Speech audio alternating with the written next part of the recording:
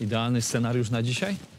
Spotykam Moskala, rozpętuję z nim wielką wojnę ojczyźnianą, podbijam obce tereny, przestaję być szlachcicem bez ziemi.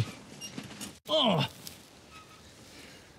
Ale jak znajdę jajko szpaka, też będzie fajnie.